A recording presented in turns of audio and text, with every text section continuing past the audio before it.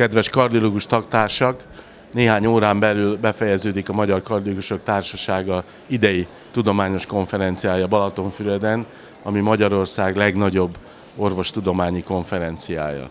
Én úgy gondolom, hogy az idén is egy nagyon sikeres konferenciát fogunk zárni, körülbelül 2200-2300 résztvevőt köszönhettünk itt az idei évben Balatonfüreden. Sajnos egy kicsit rosszabb időjárási körülmények között, mint azt az előző években tettük. A konferencia programja most is rendkívül színes volt.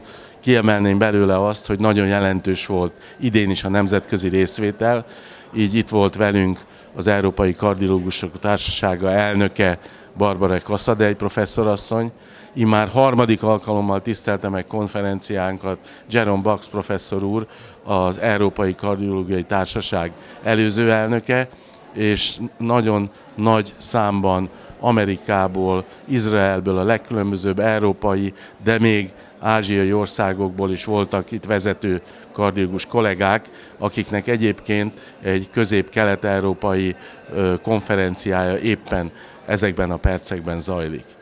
Én úgy gondolom, hogy nagyon fontos, izgató és égető témákat tudtunk az idén is megbeszélni. Számomra és a MKT mostani elnöksége számára olyan szempontból is különleges volt ez a konferencia, hogy egy három éves elnökségi ciklus zárt le, így mi néhány óra múlva konferencia végén leköszönünk, és átadjuk a stafétabotot az új elnöknek, Csanádi Zoltán professzor úrnak, és a péntek este megválasztott új elnökségnek. Én remélem, hogy egy sikeres periódus zártunk, és hogy ezt a tagság is így ítéli meg, hiszen tényleg igyekeztünk több területen megújítani a magyar kardiológia működését, és kívánom és kérem azt, hogy a következő elnököt és elnökséget is hasonló módon támogassák, és kívánom nekik, hogy nagyon sikeres legyen a következő elnökségi ciklus. Köszönöm szépen!